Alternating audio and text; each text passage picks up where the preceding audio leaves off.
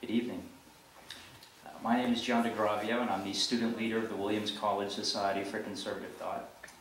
Uh, First off, I'd like to begin by thanking all of you for taking the time and energy to brave all that cold weather and to come out and join us here tonight for what we hope to be a wonderful event. So our conversation this evening is titled Diversity and the Liberal Arts. We'll be guided by the following questions. What does diversity really mean? How can diversity most effectively contribute to liberal arts education? To the extent that a college is lacking diversity, be it demographic, intellectual, ideological, or another form, how should it go about addressing it, and what are the legal ramifications of these approaches? Each of our guest speakers will deliver approximately 20-minute presentations. Our faculty moderator, Professor Darel Paul, will then prompt a few guiding questions and then open the floor to Q&A with the audience. Our conversation will include discussion of some sensitive topics, including race and affirmative action policies. Our guest speakers have engaged with these topics while serving on the U.S. Commission on Civil Rights and before the United States Supreme Court, respectively, and are two of our nation's most distinguished authorities on these matters. To ensure that this discussion is held in the most free and inclusive manner possible, we invite all interested students to voice their perspectives in the Q&A session following the presentations. Additionally, after the conclusion of the event, student and faculty organizers will be available to hear any further feedback or questions. This event is only possible through the generous support of our many campus sponsors. It is part of the year-long series on race and democracy hosted by the W. Ford Schumann 50 program in Democratic Studies, and also sponsored by Phi Beta Kappa, the Class of 1971 Public Affairs Forum, the Department of Political Science, Leadership Studies, and the Williams Forum. Our first speaker is Mr. Lawrence Purdy. Mr. Purdy is an of-counsel attorney at the Maslon Tort Law Firm in Minneapolis. He served as a pro bono of trial counsel to the plaintiffs in two landmark U.S. Supreme Court cases, both of them involving race-conscious admissions at the University of Michigan, and has spoken about these cases at the University of Texas, the University of Michigan, the Northwestern University Pritzker School of Law, and other colleges all across the country. Our second speaker is Dr. William B. Allen. Dr. Allen previously served on the National Council on the Humanities and is chairman and member of the United States Commission on Civil Rights.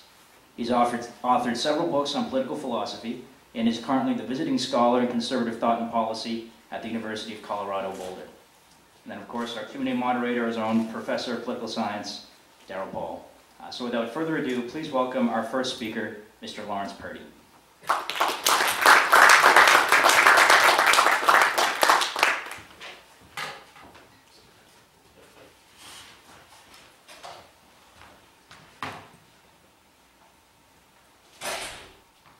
Well, uh, Professor Allen, uh, Professor Paul, uh, Professor Miller, if you're out there, John, he's, he's leaving, but uh, members of the uh, Williams College, uh, what is it, the Society for Conservative Thought, this uh, organization is putting this on, and to all the students and faculty that, uh, from Williams. It's a privilege to be here uh, tonight, uh, to share with you my thoughts on issues surrounding institutional diversity. And in particular, my view on the role race should play, if any, in terms of creating a diverse environment. We're obviously going to be talking about a lot of different aspects of diversity, and I'll be happy to address your questions, any and all questions in that regard at the end. But let me introduce the discussion on diversity by putting up a simple dictionary uh, definition.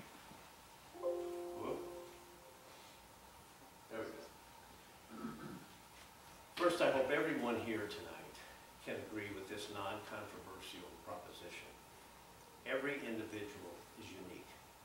Some of us are more unique than others. A handful of us may be gifted scholars, gifted athletes, gifted musicians, gifted artists, gifted in ways too numerous to mention. But the fact remains that any time more than one person is present in the room, there's a diverse environment. Because of your individual uniqueness, every person sitting here tonight adds an element of diversity to this group. This is true even when we share an immutable characteristic like a similar skin tone or share bi- biological gender. For what it's worth, I've never argued that diversity in and of itself is a bad thing. On the contrary, I argue that all sorts of diversity can be a good thing and provide educational benefits to students. But I also deeply believe that no matter how beneficial any particular type of diversity might be, no school is justified in using racially discriminatory policies to achieve it.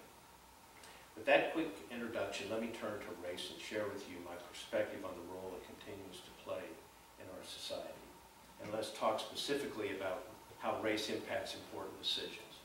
Decisions such as who gets a particular job, uh, decisions such as who gets a letter of acceptance or letter of rejection from our flagship public universities or from our most prestigious private colleges, like the one where we're gathered this evening. The fundamental question, of course, is irrespective of our quest for diversity, what role, if any, should race play in these decisions? Well, that was the precise issue that I dealt with for the better part of seven years during two landmark United States Supreme Court cases, both involved, as Mr. DeGravio told you, the University of Michigan. One involved a law school, that case was known as Gratz versus Bollinger. The other involved the undergraduate school, and that was known, uh, I'm sorry, the, the law school was Grutter versus Bollinger, the, the undergraduate case was Gratz. Uh, two different uh, systems, both heavily race conscious. The rationale offered by the university as its justification for resorting to the use of racially discriminatory policies was its claimed compelling interest in obtaining the educational benefits a diverse student body. As many of you are no doubt aware, the Supreme Court, by a five to four vote, upheld the university's claim, which overturned our trial court victory in the law school case. On the same day, the court struck down the university's race-conscious undergraduate system by a vote of six to three. Notwithstanding our victory in the undergraduate case, the law as it stands today, as reaffirmed in a more recent uh, four to three decision in a case involving the University of Texas, continues to permit colleges and universities to explicitly consider the race or ethnicity of an applicant when making admissions decisions. And depending upon how one interprets Justice O'Connor's opinion in the law school case, these race-conscious policies will be with us for at least another 10 years. And we can talk, of course, about the current state of the law, and I'll be happy to address questions, if, if any, that you have at the end of this. But at this point, you may ask, why, Mr. Purdy, did you agree to get involved in these cases? And the answer is simple.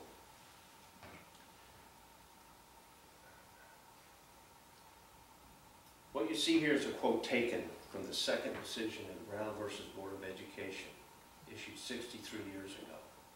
It reaffirmed the court's first decision issued a year earlier in 1954. Let me tell you that I believe Brown versus Board of Education is the greatest and most important decision ever handed down by our Supreme Court, certainly in my lifetime. It established a principle shown here that to me says all we need to know about the role race should play in public education. And as a unanimous Supreme Court made clear in Brown, race should play no role whatsoever. The second reason why I got involved in the Michigan cases is captured in a straightforward language in Title VI of the Civil Rights Act of 1964. And here it is. I'm not going to read these slides to you. Just take a moment. And again, these words, just like those we just read from Brown, are crystal clear to me. Yet this language and its guarantee of non-discrimination has come under severe challenge due to the position taken by five justices in the Grutter case. Now, before I go any further, let me tell you two things the Michigan cases were not about. First, the Michigan cases were not about criticizing the general concept that educational benefits are derived from diversity, most definitely as it relates to racial diversity. As I said before, I believe diversity, and in particular racial diversity, is a good thing. And second, these cases were not, repeat, not about dismantling affirmative action programs.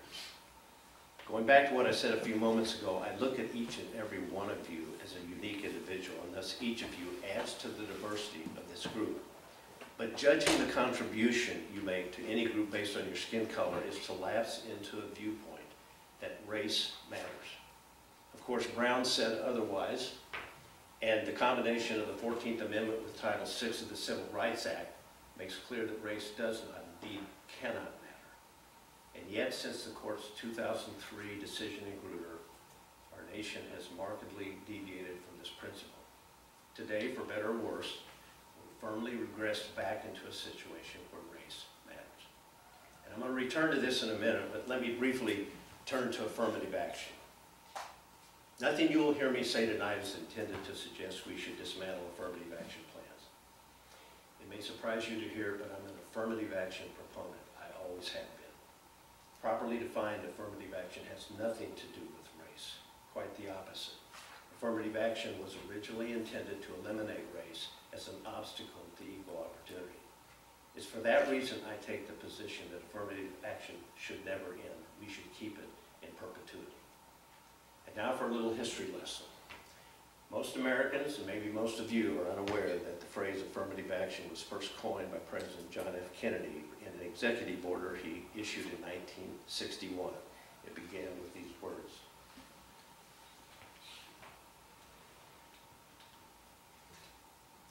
I'll direct you to the second paragraph because it's one of my favorites. Whereas discrimination because of race, creed, color, or national origin is contrary to the constitutional principles and policies the United States. And then, of course, it talks about the obligation of the United States to promote and ensure equal opportunity for all. Powerful constitutional principles contained in the preamble to President Kennedy's order. And then we get to his use of the phrase affirmative action. And there it is. That's where it started. As you can see, President Kennedy's order was a directive to remove, not add race as a factor of government employment and contracting. Affirmative action was universally understood as the method by which we intend to guarantee equal opportunity to every citizen irrespective of his or her skin color. Let me give you an example. No less an advocate for equal opportunity than former chairman of the Joint Chiefs of Staff and former U.S. Secretary of State Colin Powell said it best. And let's look at his words. They're simple, they're short, and it says everything that needs to be said. Obviously, I agree with what General Powell wrote. But his expression was not the first imposing preferences based on race. Let me share with you another view, this one coming approximately a century and a half before General Powell's words appeared. For those of you who may have seen that wonderful movie Lincoln starring Daniel uh, Day-Lewis, you might recognize the author of these words. He was a famous 19th century abolitionist who in his will established a home for homeless, uh, school for homeless orphans. Thaddeus Stevens was the, was the individual, appeared in the movie, fascinating character played by Tommy Lee Jones.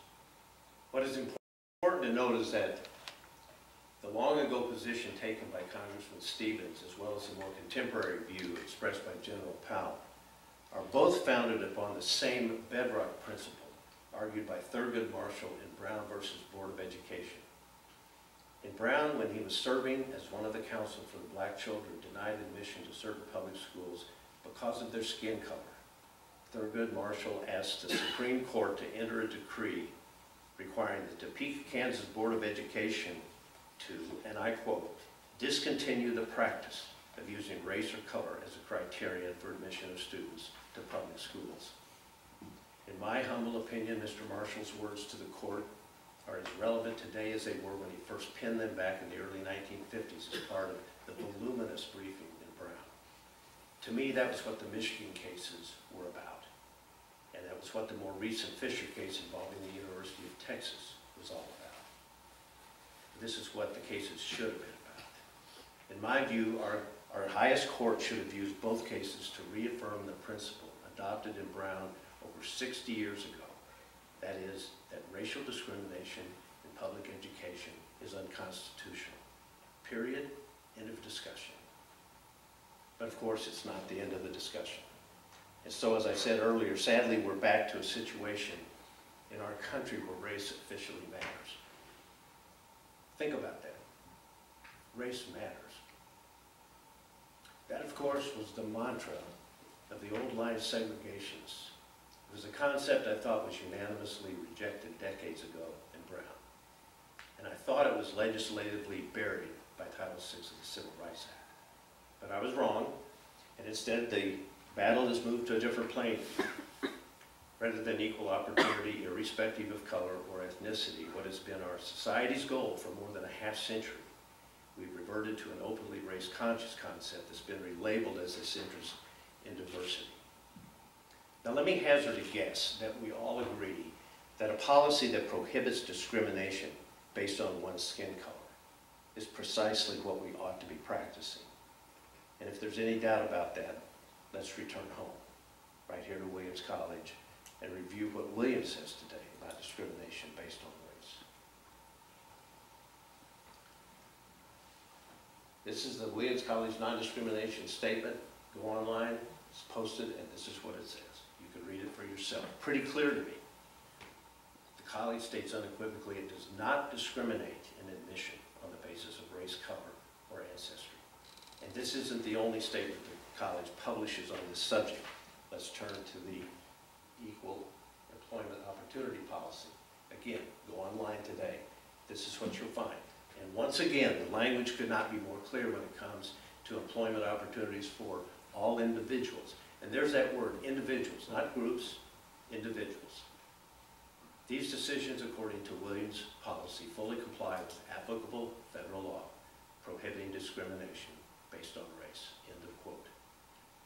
These unambiguous policies are fully consistent with President Kennedy's original formulation of affirmative action, which is to say affirmative action means equal opportunity, not preferences based on race. Not to belabor the obvious, but there is nary a word anywhere in these statements to suggest the college is committed to anything other than strictly prohibiting racial discrimination on this campus. And that's a powerful statement to make. Of course, what Williams publicly preaches is exactly what it ought to be doing. For if nothing else is clear, this one thing should be clear. When it comes to judging the value and the worth of your classmates, your professional colleagues, indeed all of our fellow citizens, race should never matter. Race, this immutable factor, tells us nothing about a person's talent, skills, honor, courage, intelligence, or his or her dedication to any task.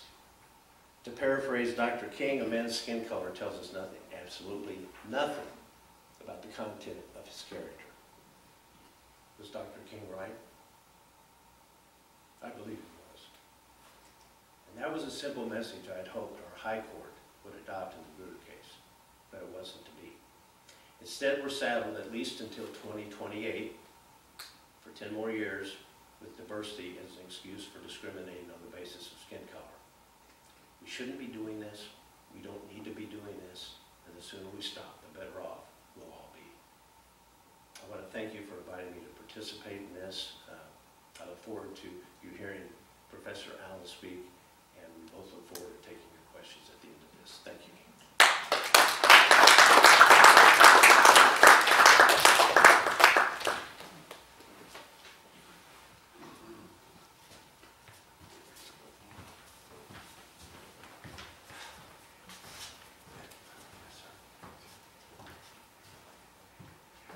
Greetings.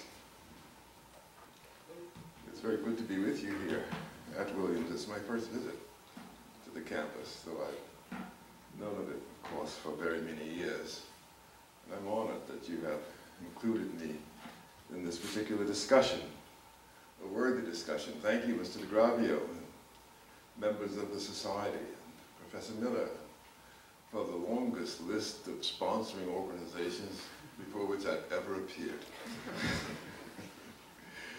I, I imagine you're very serious, and I would like to be serious too, but I'm old. it's hard to be serious when you're old because you've seen it all before. Nevertheless, I will try to give honor to the occasion and speak to the point. Before coming, I asked John DeGravio to share with you, or at least the members of the society, the chapter from the book Ending Racial Preferences, which I penned, which is chapter seven in that book, and which is entitled Moving from Diversity to Inclusion. I'm not going to read it to you. I only reference it now to say that uh, I'm looking forward to the conversation, and for those of you who have looked at it, I'll be happy to respond to any questions that you may have found in it. But I will reference it. I'll reference it for two reasons. One, to point to what you find in the conclusion of that chapter, namely my turn away from the discussion of political, legal, and social practices to the mission of the college or university. For I have often found it to be the case that we too easily lose sight of why we're gathered here on this campus or any campus when we subscribe to seeking to accomplish general social purposes without calibrating them with our specific mission. And you would think nothing would be more normal than to submit general social purposes to the test of conformity with institutional mission. And therefore, it represents something of a failure wherever that does not occur. A failure to take seriously what is a fiduciary responsibility to the institution, which is to make its mission first in our priorities. Yet, none of us can be surprised that we experience moments of intense social concern that sometimes lead us to forget why we're here, that sometimes distract us from our purposes. Because like missionaries, we embrace the general salvation of mankind before attending to the condition of our own souls. And so I'm here to say that the mission of the institution comes first. Now, whether you consider that mission liberal education or you construe it in other terms, everything else ought to be subordinated to it, even if it means to thumb one's nose at society in general. And we've often forgotten that education has always been in that posture of having to thumb its nose at orthodoxy. In fact, I suspect we often forget that education doesn't happen until we begin to thumb our noses at orthodoxy.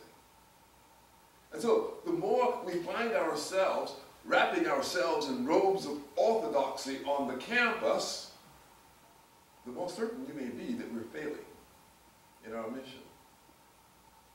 I say that remembering the practice that transpired in 2016, the morning after the election, when in campuses all over the country, there were heartfelt missives transmitted to the entire community saying, we are so sorry. You must be hurting. We'll try to help you. We'll get over this together. What puerile bromides those were. How insulting and unintelligent it was. How little conversant with the mission of the university. Oh, I don't know if you did that here. Pardon me, I, I shouldn't speak so bluntly. Did that happen here? Oh. Well, anyway. Anyway, it happened everywhere. so you aren't alone. Although, if you're serious about education, you ought to wish you were alone. Because that's what it takes to pursue truth in an atmosphere of open-ended inquiry. And so you will discover at the end of this chapter, which I've referenced, that I turn away from my recommendations regarding diversity and inclusion to remind those to whom I've addressed myself that the real purpose is the pursuit of truth in an atmosphere of open-ended inquiry. That's what liberal education is about. But is that incompatible with the goal of diversity? Is it incompatible with the goal of inclusion? Well, part of the burden of those remarks was to point out that diversity is the wrong word. Not that some of those worthwhile objectives that are celebrated in reference to diversity aren't worthwhile. They are. They're valuable. They're important. They deserve to be lifted up among us. But they don't define who we are. It's not an accident that it's called, in the broader sense, a university and not a diversity. Those words share a not the same step. The difference between one and two means everything. And therefore, when we introduce the word diversity with as much power as we do in our discourse, we are fostering a deflection from the common purpose, the oneness that brings us together in the educational pursuits. We're emphasizing difference where we intended to introduce community. And it's appropriate to ask ourselves if, upon introducing difference, we are not surreptitiously undermining academic and intellectual community. As a matter of practice, I think that has happened all too much. And for that reason, I have recommended that we substitute the word inclusion for diversity. I did this quite a long time ago. And I'm somewhat pleased that inclusion has come to be embraced as a term that describes our objectives. Although I'm somewhat disappointed that it's only a halfway measure because almost everywhere we meet it, we meet diversity and inclusion. We didn't take the whole journey. So, what I will emphasize tonight is what I regard as the importance of completing the journey.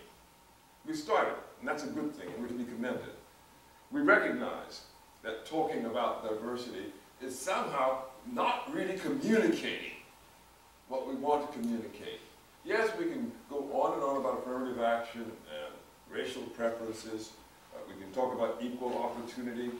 We can talk about all those things that in so many ways have structured our experience for the last two generations, starting with our concern with questions of race and of course terminating in a proliferation of protected groups that only emphasize what happens when difference becomes the standard rather than community. We will continue the centrifugal effect that difference introduces until we redirect our energies in such a way as to make clear that while all are welcomed in, all are welcomed into a single spirit of exertion which is intellectual accomplishment and the pursuit of truth. So let me just say some concluding words about that and then get to the conversation as quickly as possible. These concluding words take us back to the practical experience we have. And that practical experience I can summarize best by summoning up what William Bowen and Derek Bok introduced in their book, The Shape of the River a, a book which I, I, commented on some time ago, but in some sense actually never really understood until I read Larry Purdy and, and recognized that it was more than what I thought it was because it was a book deliberately constructed to produce the result that was obtained in Grutter versus Bollinger. This was not just a happenstance occurrence that the book came out, because of course the the case itself was long in gestation. And the Mellon Foundation put an awful lot of funds into it and made sure they had it out in time to influence the case. And so we need to stop and think about this. That there are people, uh, race brokers, I call them, I certainly would refer to Bill Bowen that way. There are people who have deliberately sought to introduce these terms of distinction in this society and to make them the basis of administrative conduct in a way that has prevailed over common sense. And there should be, on our various campuses, a far stronger spirit of critical appraisal of those things. So if we apply that to what was accomplished in Bowen and Bok's book, The Shape of the River, we'll discover something. The book cultivates a positive argument for race sensitivity on the claim that by practicing race sensitivity, and you can add all the other protected groups afterwards that follow, but the shape of the river, river focuses on race. By practicing race sensitivity, they argue, we are enhancing social productivity. It's a very straightforward argument. We are making the world better by practicing race sensitivity. Now, all you've got to do to accept that proposition is to accept the premise that there are a blessed few whose race sensitivity is benign. And that those blessed few comprise Bill Bowen and Derek Bok. I'm sure there are a few others, but they're the ones who published the book. That's an extraordinary claim to bow down to. Simply extraordinary. And I would think that any human being who had decent self-respect would express indignant outrage upon hearing it, whatever the person's race, gender, or other identifying term might be. Why? Because what it actually conveys is a very simple formulation. You're not as good as we are, and we need to take care of you. Now that's the underlying dynamic.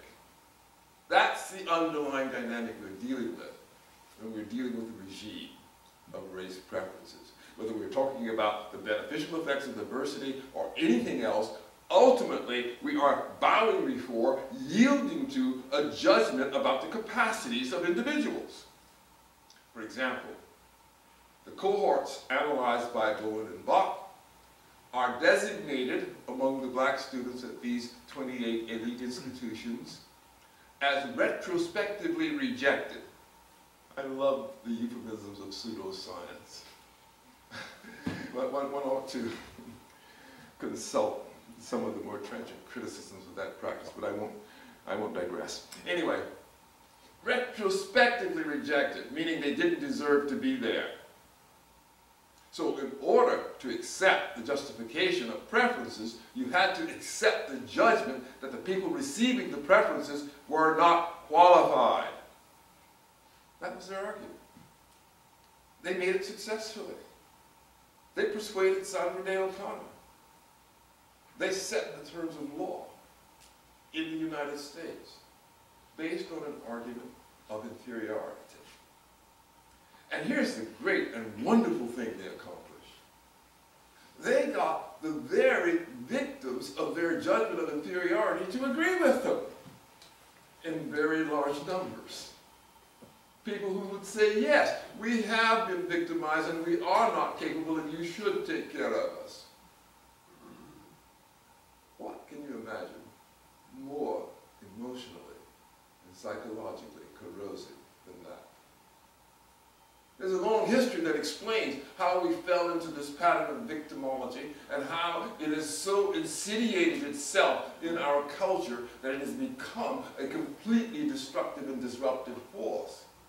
But surely it doesn't take the telling of a long history for an intelligent listener to see that there's something perverse in this. Extraordinarily perverse. Not happenstance perverse. And therefore, it should call our attention to a strident and important, uh, a, a turning point in cultural moments. How come we to be this way? And how can we change? So to my mind, the conversation today about racial preferences or affirmative action or diversity, or yes, now inclusion until we clean up our language, has to become how are we going to save ourselves?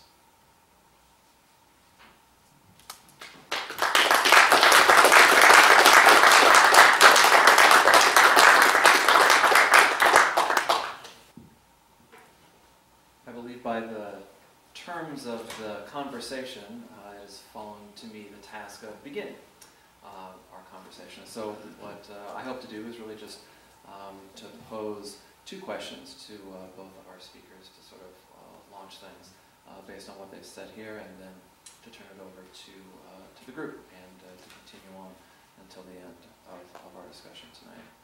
So the first, um, the first question I have follows on, I think, an insight that, uh, that Mr. Purdy gave and then was followed up quite well by Professor Allen. And it is this, that there is this question of individuals versus groups. And I think uh, Mr. Purdy gave quite, um, uh, a, quite a strong argument for treating uh, people as individuals rather than as members of groups.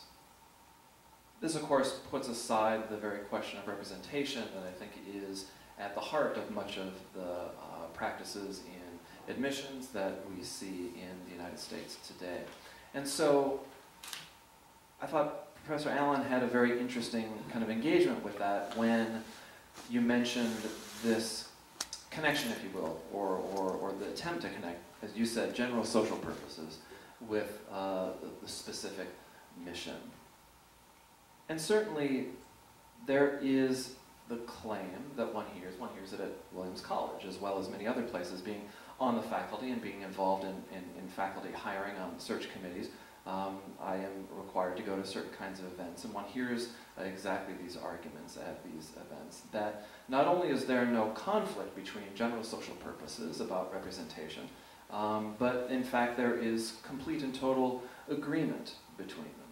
So I think the fear uh, that Professor Allen has about um, the, the centrifugal forces, if you will, um, those in authority and in power in higher education just simply do not believe this is true. And I wonder, um, is it is it essentially the is it an ideological case? Is it a political one? I think towards the end of uh, Professor Allen's talk, I think he, he he sort of begins to point towards what he thinks is at the root of this. But I but I would like to to hear um, a little bit from both of our speakers about this insistence that the general and the specific have no clash, have no contradiction. They are totally compatible with one another. And so therefore we can do uh, the, the specific mission of education and the pursuit of truth along with the general purposes of representation. Would you like to go first? Would you like to go first? Well, I don't want to, Give you this as well. is this okay? All right, yeah, let me know if you can't hear. Um, I'm going to defer to the more academic discussion uh, aspects of this to both Professor Paul and Professor Allen. I- I was a lawyer in, in this case. I actually was a lawyer, I'm sure Professor Allen and I can both talk about this. I, I, I was a young man that grew up pre-Brown versus Board of Education.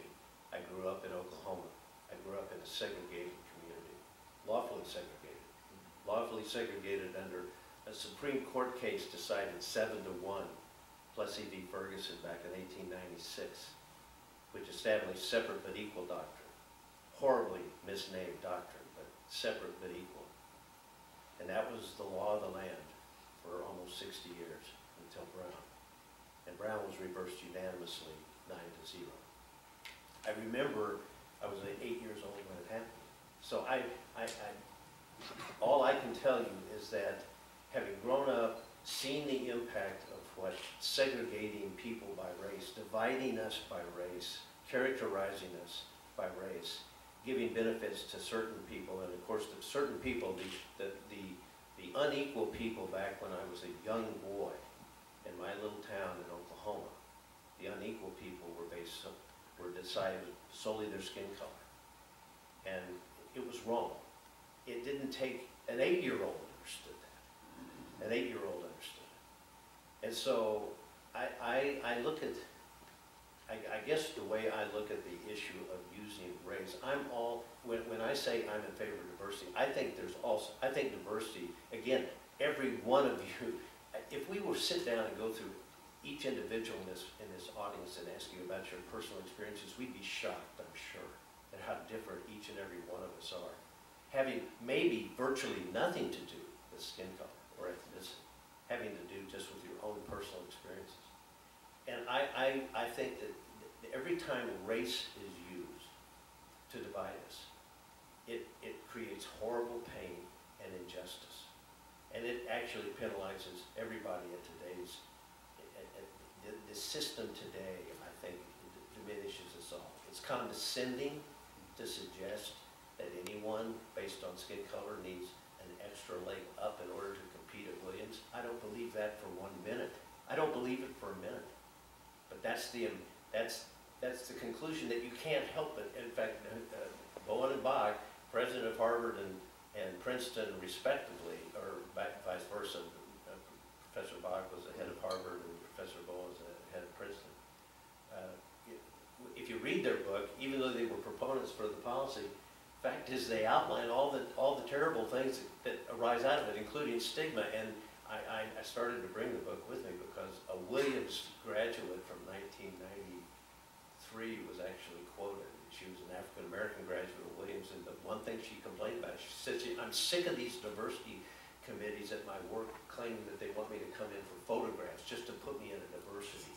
Uh, You know, I mean, if that's what you want me for, I, I want you to want me because I went to Williams, I did a good job, I'm a smart woman, I can, I can do the job. So I, I, um, I'm probably not answering your question, Professor Paul, I'm sorry, I'll probably get a very poor grade here. Uh, But, uh, but I just think that what we've done from a legal and social standpoint is, is wrong. It's well-intended, I'm not arguing about the intentions of people that have instituted some of these policies. I never have argued about their intentions, but I think just when you look at it, every time race is used to divide us, it, it is harmful, it's divisive, it's painful, it's unjust, and we are better. We should, we should strive to end.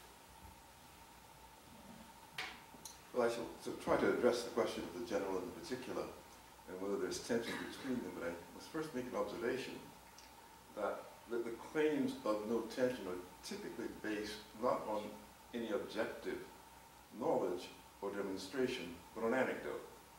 Just as the whole shape of the river consists of anecdote, not objective demonstration. It pretends to be objective demonstration, but for a number of technical reasons it is plain that, that it is not sufficiently so.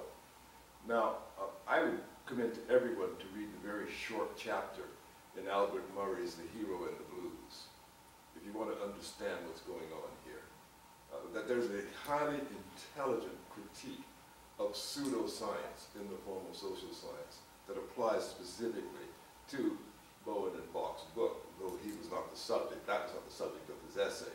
But you'll understand it immediately if you read that tiny little essay. But let me go beyond that and, and share just a brief passage which, which addresses your question, I think, fairly specifically, and then raises the real issue, which is why we don't find convergence between the social mission and the institutional mission. Uh, the, the question where we are today is primarily a question of whether assimilation or permanent diversity is the likeliest consequence. Remembering diversity means difference. Bowen and Bok implicitly acknowledge this by asking their 1976 and 1989 cohorts from the highly selected colleges and universities whether while in college they managed to get to know well two or more minority or majority students, in the case where the student was the other. As an index of assimilation, this is perhaps only slightly less pallid than the old expression, some of my best friends are. Nonetheless, it does represent the principle that assimilation is the goal. I want to underscore that. Assimilation is the goal. Let us conclude, therefore, that the best way to answer the question of where we are today is in the form of some approximation to the degree of assimilation. Because assimilation necessarily means a declining consciousness of otherness, then the measure would have to be in some fashion an assessment of the declining significance of race. So, if the general goal is the declining significance of race, and what we are experiencing is the opposite, it is plain that we're not accomplishing the general goal. So how does that fit the mission of the university? We'd be forced to ask ourselves, let me illustrate it still further for you. An old philosopher, Aristotle, told us in a very simple expression what it takes to create a viable community. His answer was intermarriage. Simple, intuitive. Well, of course, if race doesn't matter, it will not show up in the one area of life and culture where it is most pronounced, in the selection of mate. Our institutions do not urge us to go out and marry across lines of race or ethnic identity. There's a single administration, I'm sure Williams isn't one either, that has proclaimed publicly in a missive to the community, you ought to practice intermarriage. And yet it claims to be committed to the general proposition. The point is the claim is false in the first place about the general proposition, and it's inconsistent with the mission of the university, which isn't to be missionaries to us, but to foster in us the search for truth. One more brief question, which I think follows very much upon uh, what Professor Allen said, and, and it does get to the mission of the university. So many of these cases and the discussion about um, diversity in college admissions animates elite institutions. And elite institutions are um, jumping off points, opportunities for admission into the generalized elite of American society. And so to go to Harvard uh, means something quite different than to go to MCLA, which is Massachusetts College of Liberal Arts down the road in North Adams. And so because so many benefits, or at least we certainly believe, that so many benefits of American society flow from where one went to school, um, the stakes are, are high. People certainly act as if the stakes are, are extremely high to get into Williams versus some uh, lesser institution. If diversity is not a principle that governs admissions to opportunities to become elite or to maintain one's elite status, um, what principles should be used? I'll, I'll take that first. Uh, th- this is an item which is highly emphasized in the chapter I referenced to you, moving from diversity to inclusion, in which I have demonstrated, I think, with a tolerable uh, persuasiveness and certainly with a great deal of documentation and systematic inquiry, that our institutions, in fact, do not exert themselves to accomplish even that purpose. Why? Because they take the cheap way out of preferences which creates a whole host of cascading effects, and which if you take the assumptions seriously, you must then trace all the way down the ladder of higher education to see at each rung you have people who are misplaced, missorted, based on the premise of the elite institutions. But that itself is not sufficient to dispose of it. In addition, what I've shown is there is a direct way to attract diverse student bodies, which involves capital, investing, and reaching out intelligently, and finding people who are not otherwise aware of the opportunities open to them.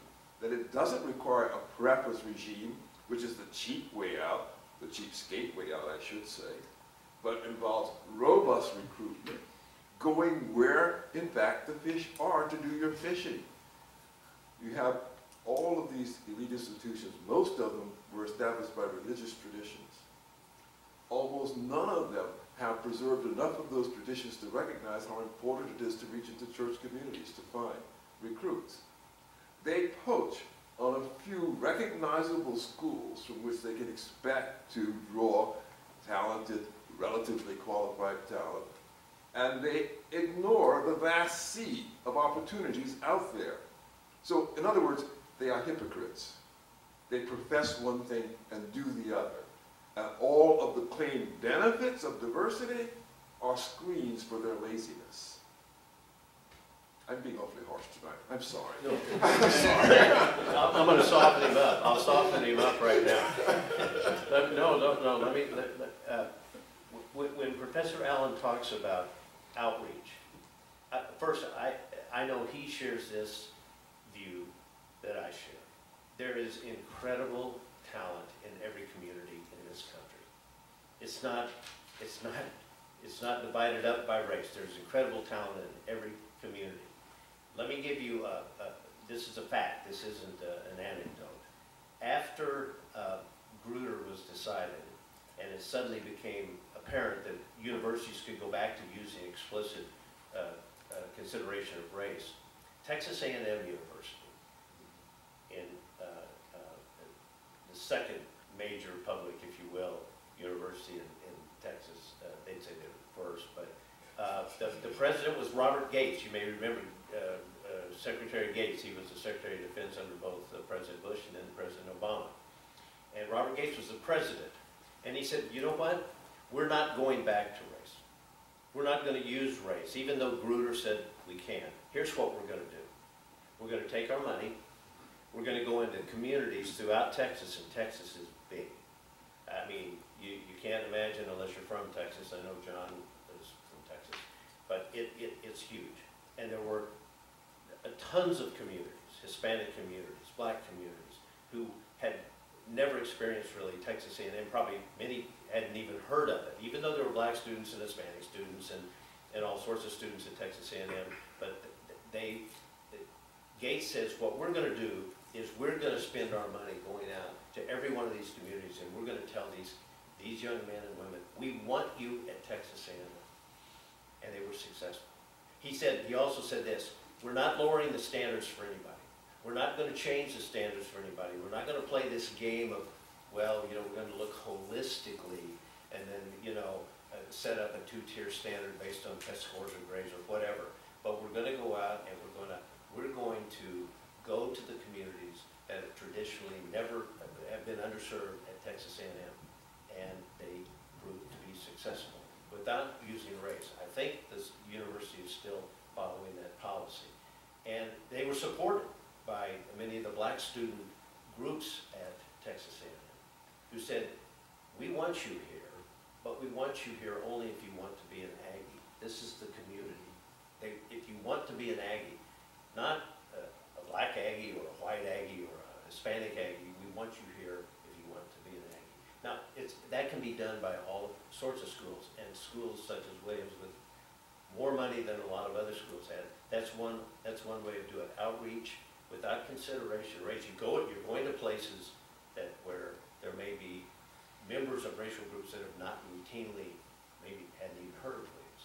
But the talent's there, so make the effort, and diversity, racial diversity will take care of itself. Let me just follow up briefly to say, uh, to endorse uh, what Mr. Purdy has said, uh, to tell you that I've actually done it myself while serving as dean of the premier college at Michigan State University, and for which people you know, fought to get in. Uh, I wore out shoe leather as well as money, going to communities and communicating to students that the opportunity was theirs to take. And particularly in that case, because it was first come, first served.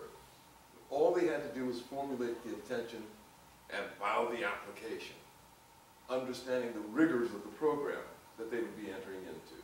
But communicating that broadly was the key to our performance, which was extraordinary. And so when I make my harsher comments, I make them against the background of professional practice in this regard. I really do know what it takes to accomplish the result. And therefore, when I say people who don't do that are lazy, I really mean it. I want to tell you that my mother wanted me to go to Harvard. This is a long, long time ago. I never went to Harvard. I never applied to Harvard. Why? We had no idea that we could. We certainly didn't have any money to pay for it. We had no idea how it would be paid for or how to get in, and we certainly never heard from Harvard. Made all the difference. Now, did it make a difference in my life? No, no. I, I, I, I've been blessed in extraordinary ways. Uh, and so, so I don't regret that. But what I'm telling you is Harvard could have made an impression on me that would have changed the course of things if Harvard hadn't been cheap and lazy. So those of you thinking about postgraduate work at Harvard, I think my role from here on out is to call on hands that are raised in the audience. Uh, let's start in the back on the left, my left. your right. Should I stand or? Yes, please. Um, thanks for coming. My name is Kai Cash. I'm a senior here. And, uh, given the discussion that we've had today, I had like a, like a, a very long-winded comment that I, it does end in a question. Um, so a large part of the, I wrote it down so that I wouldn't forget. A large part of the argument surrounding not approaching admissions holistically, uh, makes a lot of large assumptions about the institutions that surround us. Um, and so my first question would be, uh, which we can address at the end, would you agree that the political context in which someone lives or a group lives influences their decisions or their perceptions? Uh, and I think that there's some interesting work, for instance, in economic history that shows in post-World War II Germany, when East and West Germany were divided, that the perceptions of individuals that lived in the communist regime were very different from those that lived in West Germany. And so that's just evidence for that sort of political con- uh, the context having influence on the way that people are acting. And I mention this uh, because I think that the historical underpinnings, if they don't have an effect on the ability to compete at Williams, certainly have an effect on the admissions to Williams and places of the like. So I think we've made an interesting case um, about moving forward, but I wonder what you guys think of the role of historical injustice in the discussion and role that current leaders and members of societies have to address uh, sort of the manipulated and dominant perspective in regards to admission. And what follows from that is that we, we spoke a lot also about capitalism and, and uh, sorry, capital allocation and professionalism.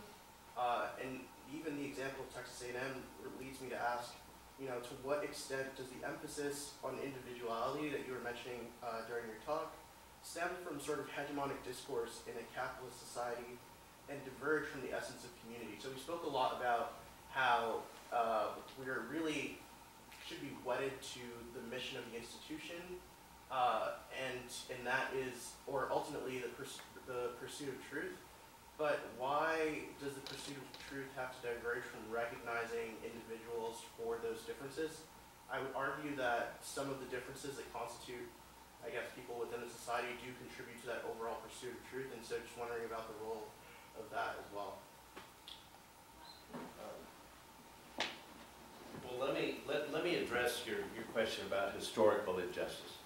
Uh, As I said, I, I, I think we can all appreciate and understand the view of, of every human being who says there, there were historical injustices committed and we feel terrible about them and we're sorry they happened and, you know, but as Thomas Sowell wrote, and he's written eloquently about it, you can't go back, you know, if, if we could go back three or four hundred years and, and find the people responsible for enslaving our, our black brothers and sisters, then, you know, th- then maybe we could, we could exact some social justice. But you can't, you can't do that.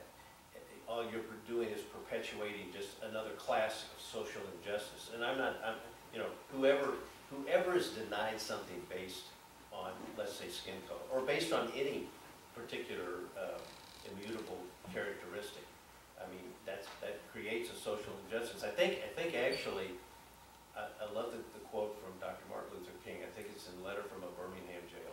He says, an injustice to any man is, is injustice to every man. And so, I, if, no one in here is responsible for the injustices from hundred and fifty years ago. So you can't go back and remedy it, and the truth of the matter is, the courts have already said that. Justice Powell, in the Bakke decision, where the diversity rationale was first actually raised, made the point, you know, you, you can't go back and, and correct inherent misjustices from the past. You can correct current injustice. If you're, the- if you're a victim of injustice today based on race, you've got, a you've got a claim. And you know what, call me, I'll represent you, because you do have a claim. But trying to, uh, uh, you know, go back uh, centuries, it, it's just a never-ending, uh, never-ending, you just never end. I'll give you, I'll give you one more example, I, do this. I, uh, I told you I was from Oklahoma, and so is Senator Elizabeth Warren, she grew up in Oklahoma. And she's obviously uh, recently decided to proudly release her DNA results, which showed, as I think is unequivocal, she has less potential Native American DNA than the average American. At which I thank her for this, because if it were up to me, I would eliminate all the race boxes I eliminate them. I, I don't want to know, I don't care what your, uh, your race or ethnicity is. I care about you as an individual. I'll read about you as an individual. Incidentally, I'm not on the admissions committee, so no one has to, to worry one way or the other. But, but, um, uh, she claims Cherokee heritage, so I'll tell you, here's a, here's a, does anybody know the history of the Cherokees in terms of slave owning? Okay. They were a slave owning tribe. They, they, when the, the, the last Confederate general to surrender was a Cherokee chief named Stand Watie. He was a slave owner. When the war was over, the U.S. government rewrote its treaty with the Cherokee, released all their slaves, gave them land, and, and, and penalized severely the Cherokees. And they weren't the only tribe, Choctaws, Chickasaws, Seminoles, the Creeks. They were all, but they were Native Americans, and today that would be one of the protected groups supposedly. But here's the question, social justice question for you. Should, uh, let's say a young Elizabeth Warren who claims Native American ancestry applies for admission and a school has a policy that says we're gonna give a preference because that's an underrepresented minority. Is it, is social justice accomplished by giving a, the descendant of a Cherokee slave owner a spot in the Williams class of twenty twenty-three over a white descendant of an abolitionist who gave his life to end the institution of slavery? I mean, this is the problem in trying to go back historically and do all these things. I don't want to penalize Elizabeth Warren for what the Cherokees did. She didn't have anything to do with it. But this is the silliness that, that, that if you try and go back and talk about these historical injustices, you just, it, it's, it, it's a, you can't do it. And you can't resolve it and you can't make up for it. So we need to do what's right moving forward. That's why I think, again, race shouldn't matter. I should add a footnote that the Cherokees, long after and until relatively recent times, long after the end of the war, uh, also barred black descendants from their slaves and from the Cherokees Correct. from participating in any of the privileges of the tribe. So basically, they perpetuated Jim Crow well into the 20th century to boot. But that's neither here nor there. I, I want to take up the perception question, the historical development question, because it's the one that I find most frequently resorted to wherever I go. And I think there's a fundamental misconception associated with it, which is best understood if we ask ourselves a simple question. If what we believe, our perspectives, and what we assert is a product of a prior series of events that have produced us, is what we're engaged in at the moment anything other than a mimetic exercise? That is to say, if we don't have the ability to think about what is and raise the question of truth, because we're simply reflecting inherited perspectives, what is the point of deliberation? Are we only to line up, as it were, in categories, the various perspectives we've had, and who knows what, assume that we take some kind of calibration, ask which one has the greatest weight?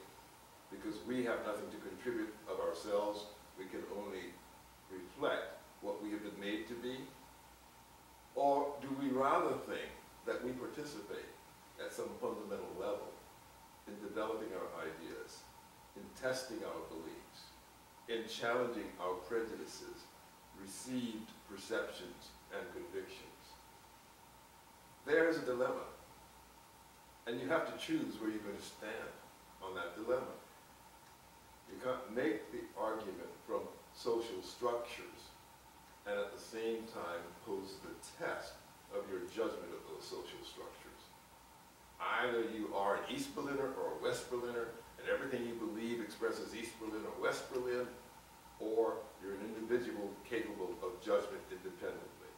And it's either or, not both and. Another question. Jeremy? Yeah, uh, Jeremy uh, I'm a sophomore. My question is, both of you had mentioned that you both think, uh, theoretically or, or whatnot, that race ought not to matter, race should not matter. Uh, my question relates to the fact that in reality and in practice, whether you believe, or most people would say that race does matter and that race has impacted people's lives. I was wondering if you agree with that. You may think that race ought not to matter, should not matter, but does it? And then that follows up to my next question of, in colleges and uh, universities should not sort of lower any standards um, when, when sort of students or people are applying to schools at that moment in time. Does that discount uh, things in, in that student's past, whether that be they were treated differently based on their race, based on their socioeconomic status? Um, does the college do a disservice by discounting uh, things in, in that student's background that were beyond their control, uh, circumstances that they didn't really have any um, direct say in that impacted their lives. Uh, if the college, if colleges and, and uh, you know universities do a disservice to those students um, in the college admission process. Go. Let, let me take it first, I'll give a couple of answers to that. I think race does matter. You misunderstand me if you think I say it doesn't. But I do say it doesn't matter for admission to college. And so when we use a generalization such as race matters, uh, that is of course a mere truism. The question is where does it matter and for what does it matter? Illustration. My daughter went off, and I only tell this story because she's told it publicly so I can repeat it. My daughter went off to Princeton University when she started college. And she arrived on campus only to be greeted by some university administrators, admissions, student affairs type officers who see her when she arrives, and the first thing they say to her is, why didn't you tell us you were black? And the question is, what difference would it have made? Are you trying to tell me I wouldn't have been admitted? Or are you saying, well, I have been admitted, so you can't say I would have been admitted because I was black? Why do you need to know? In other words, they made an issue out of something that didn't matter. She happened to be a particularly strong student, a genius, in fact. And there's no question about her getting into Princeton. And so there was no reason for Princeton to raise that particular issue. So how does that address your second question? Well, think about it this way. Every admissions decision discounts something that happened in your past. Think about it for a second. You don't reveal everything that's happened to you from the moment of birth. Many of those things could have had an influence on who you are. The university doesn't know anything about them. Every decision discounts the bulk of your past experience because it's unknown.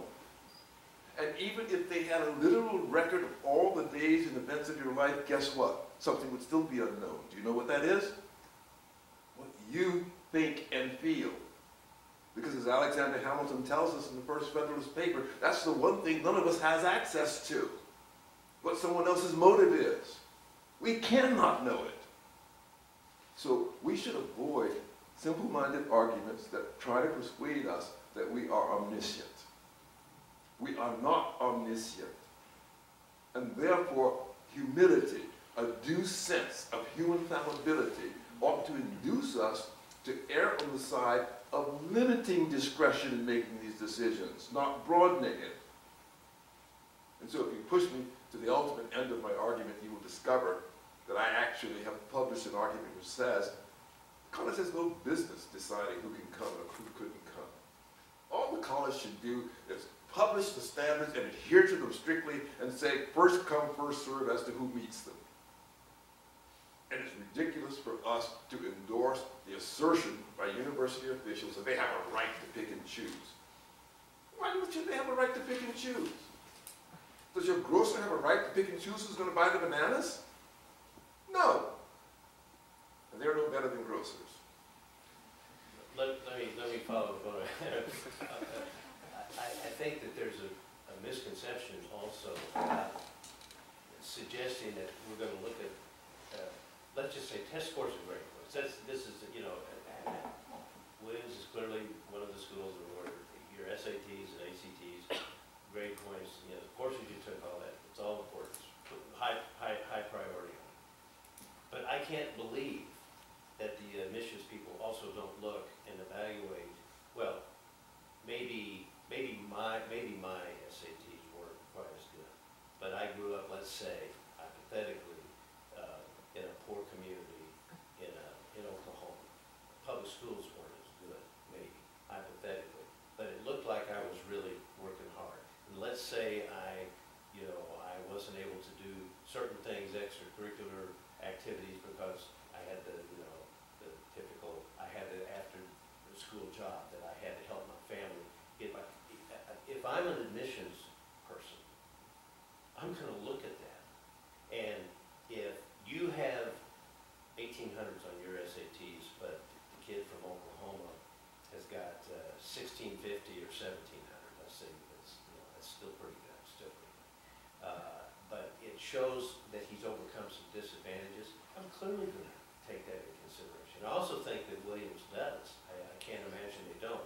I would almost wager, I think it would be fascinating for a school like Williams to run a dual admissions uh, experiment. And one group of applications, uh, one group decides uh, admissions based on applications where there is no race or ethnicity involved, none. Everything else is involved. You can tell your story, where you came from, if there's, you know, disadvantages, socioeconomic disadvantages, uh, class preferences, there's fascinating studies showing how using class preferences actually can uh, uh, create the same, if not exceed, current racial diversity numbers on many elite campuses. And this, they've been done, I mean, I haven't done them, but I've, I've, I've read the studies, I've seen the studies. And these are done by incidentally proponents, proponents for using race if it worked. They've concluded it, it, it doesn't work for a lot of reasons. So, you know, just to, to kind of reassure you, I don't think that, uh, you know, but what Professor uh, Allen is saying is set the standard then, and then whatever it is, it is. I mean, the standard may include, we're gonna, we're gonna consider all your background, and, and that's fine, that's fine. If you, if you're gonna set a standard, however, that says, we're gonna take the top SAT and ACT, or the top SAT and GPA people, well, then, then you're gonna get the top SAT and GPA people, that's what you're gonna get. And, and that's first come, first served, because you set the standards and you're not gonna deviate, you shouldn't deviate based on race or gender or whatever. Uh, But that's not, I don't think that's the way it really works. I, I don't think your concern is that people will ignore the, the, the, the elements that you're talking about. Yes, we almost have a debate now. So, so, so let me just uh, re- reply that, that I don't by any means intend to depreciate the, the genuine concern with humanity that you hear expressed in, in Larry's remarks. Now, I share those. And as long as people are evaluating and making these decisions, I think there's nothing wrong with their responding in humane fashion to our narratives, our respective stories.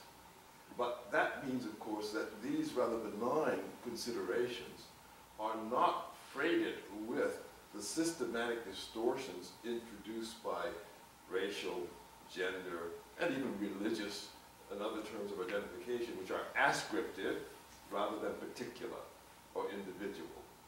So- that I would say if you're still in a universe where those decisions have to be made, they should be made in as humane a fashion as possible. My ideal universe would say, don't give anybody the power to do that. Make them be transparent. Make them tell you who they are up front. And let you make the decision whether you want to be one of them or not. That's the way I would do it in an ideal world. Thanks, Darel. Uh, Rob White, I work in the Dean of Students Office. Professor Allen, uh, I was one of Bill Bowen's ghostwriters when he was president of Princeton University, and I thought your comments about the shape of the river were different from those that I've heard elsewhere.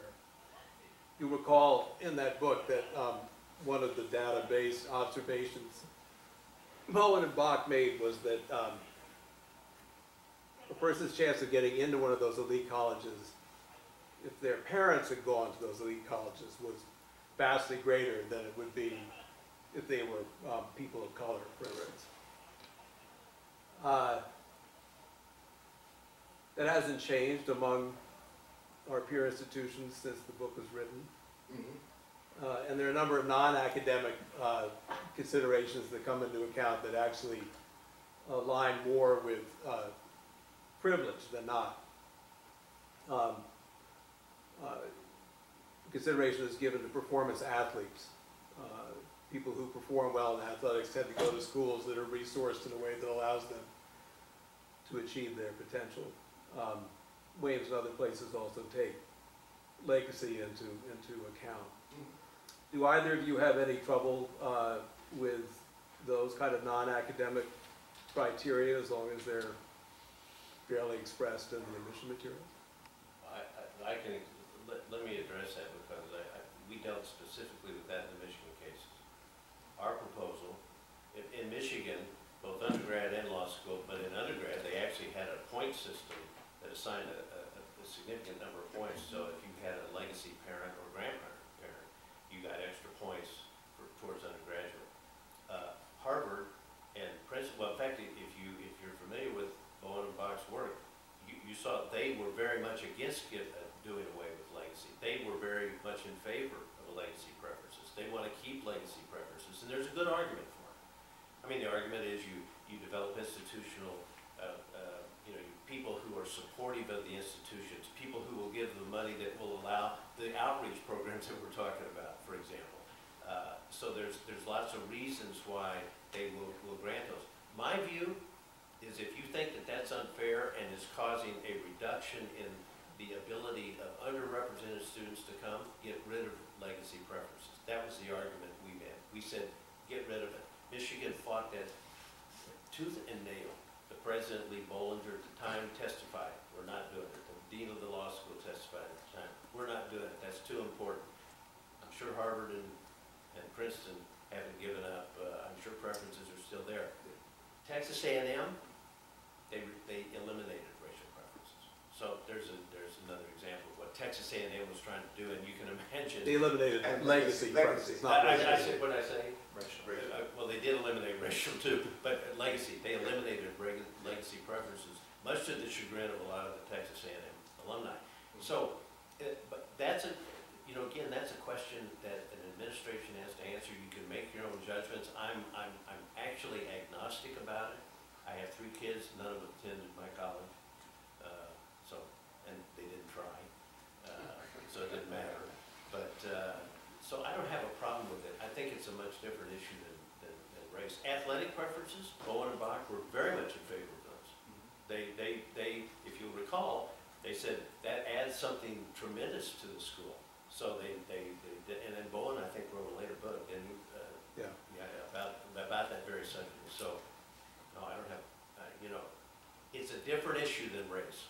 Race is too divisive. We don't, we need to get rid of it. That's, and that's my view, that's my hard view. I just don't want us to be divided along lines of skin color. Well, you, you said that, well, I don't have anything to add to that. I, I will make the remark that the uh, observation in the book that the admission of legacy or transgenerational relationship students at a higher rate than black students is, of course, nothing surprising or significant statistically. The ends are different. Uh, so- so it's going to, if you're practicing both, that's going to be a natural result, not an unnatural result. So there's nothing to be learned from it.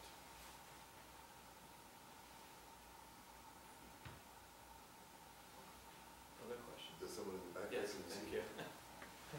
Um, and so this, this question is directed mainly to Dr. Allen, um, because I read your chapter from the book. And so, um, at Williams, um, the words diversity and inclusion are used frequently in tandem. Um, and so I was wondering, you know, in your book, you define both. Um, so how do you feel that Williams and other elite institutions are misusing the word inclusion by combining it with diversity? And what can we learn from your distinction of the two words? Well, I think the first and most important thing to learn is that what I emphasized was the uh, really urgent necessity to begin rebuilding community. And insofar as the use of the word inclusion is leading in that direction, I commend it. I think it's a good thing. It's beginning to emphasize that we're not a collection of separate tribes. But if it's done in tension with other practices that reinforce tribalism, then it means it's a halfway house we've arrived at. We haven't gone all the way. And so I'm, I'm just fervent in saying, let's make the whole journey. Let's go all the way and reinforce community.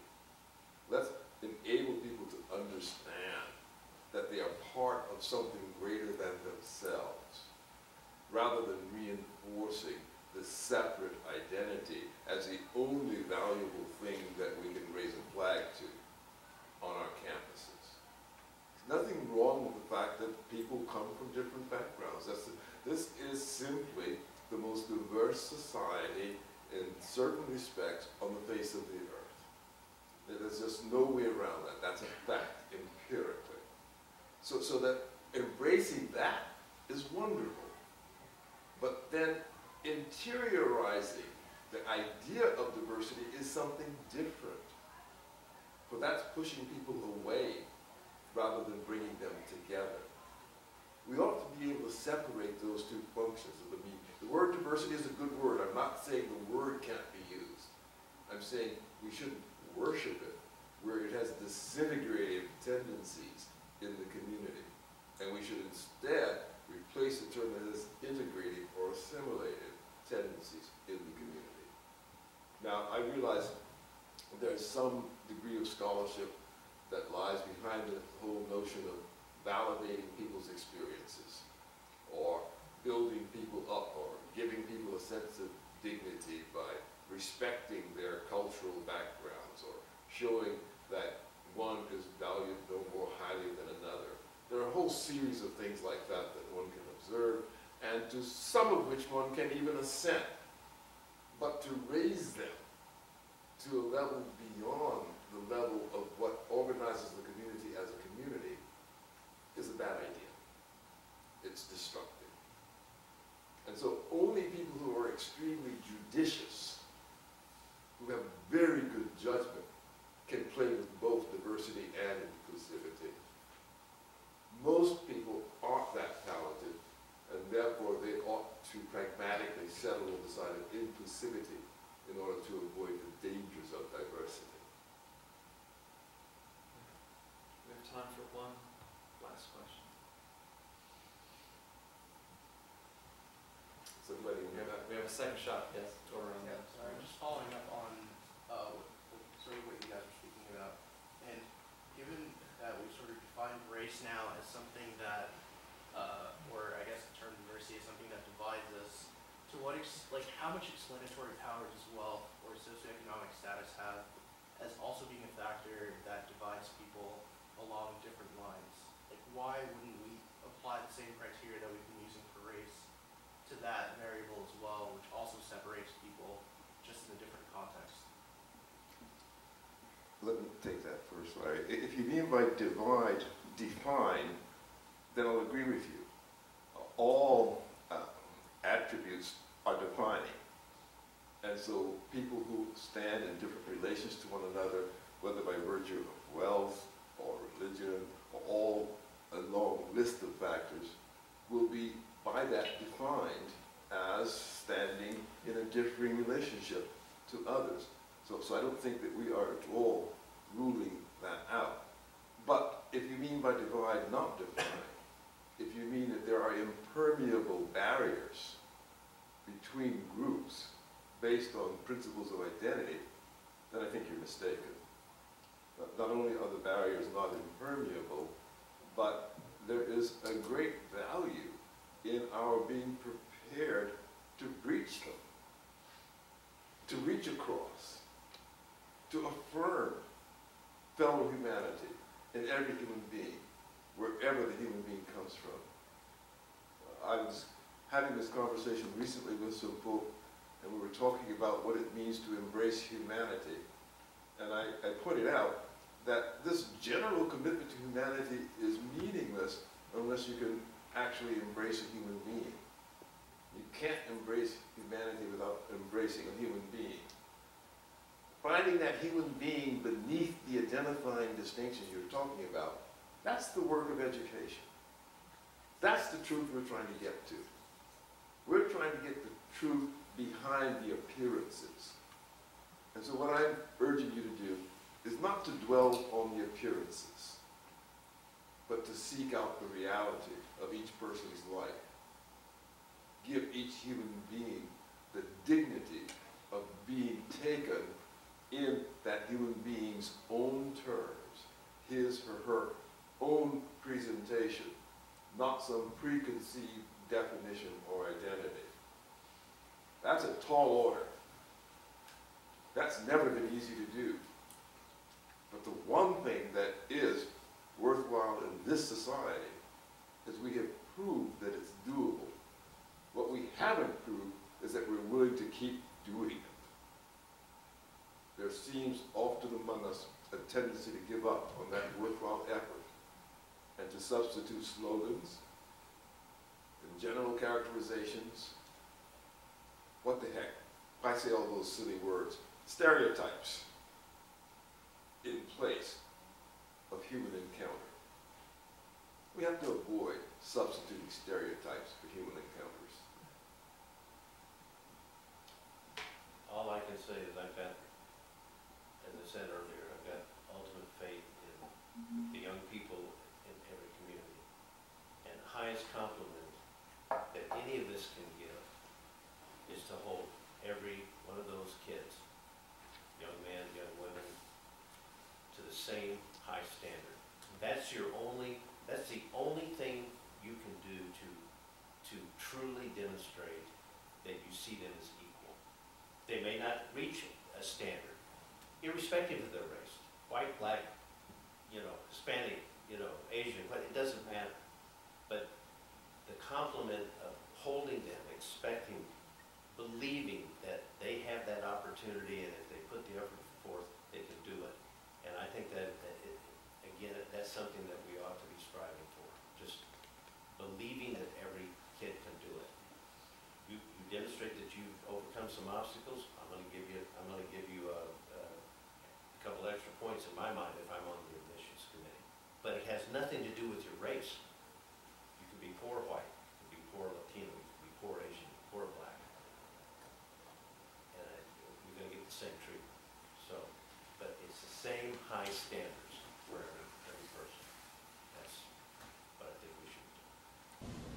Again, I'd like to thank everybody for taking the time to come here and participate in this very important and substantive discussion. Um, If you'd like to learn more about Society for Conservative Thought events, you can contact me at my Unix JJD6. Um, But otherwise, I want to thank you all for coming out. Um, If you have any feedback or further questions about the event, myself and other faculty organizers will be available to chat. Um, But beyond that, thank you so much for coming, and have a good night.